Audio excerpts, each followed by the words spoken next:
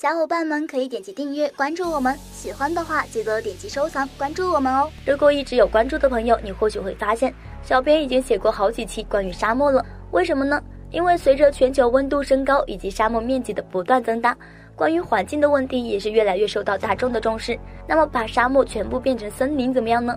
先不说这个有没有可能，但是存在即合理。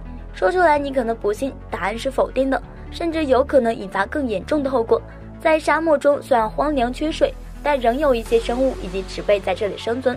如果贸然把沙漠环境完全剔除，势必会导致一些动植物因为失去了生存环境而导致灭绝。